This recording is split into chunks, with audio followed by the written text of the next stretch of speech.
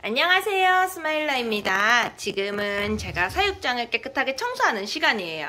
보시다시피 소라게 집도 지금 청소를 하고 있고요. 이렇게 팩맨 친구들도 지금 오늘 요 밑에 깔려있는 수태를 다 갈아주고 사육장 오늘 전체 청소를 하고 있는데요. 그런데 이 친구 이 알비노 팩맨이요. 제가 청소를 하자마자 큰 똥을 싸고 있어요 보시면 몸은 몸만한 똥을 싸고 있어요. 지금 그래서 제가 영상을 잠시 찍어 볼게요. 배는 홀쭉해졌고요. 똥이 뚝 떨어지는 거 보이시죠? 정말 길이가 자기 몸만 해요. 거의 일주일에 한 번 정도 똥을 싸는 것 같은데 한 번 쌀 때 이렇게 커다란 똥을 싼답니다. 이 팩메뉴들의 똥이 궁금하셨죠? 이렇게 싸요.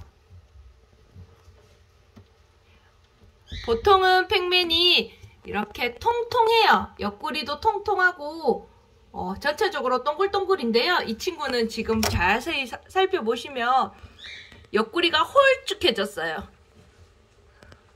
배에 있는 이 똥을 배에 꽉 차있던 이 똥을 한 번에 꽉 한 번에 쫙 싸버리니까 배가 홀쭉해졌답니다.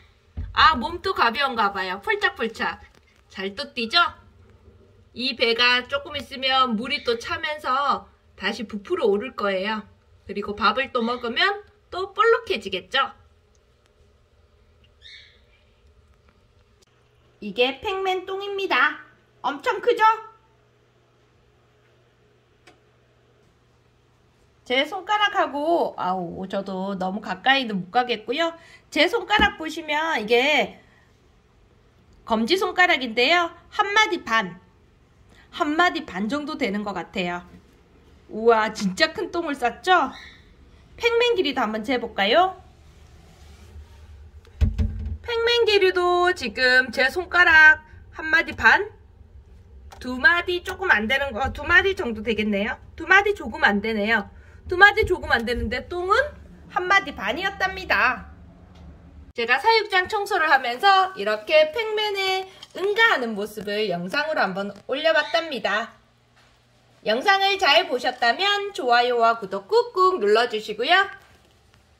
팩맨 친구들이 궁금하시면 스마일러에 놀러오세요. 감사합니다.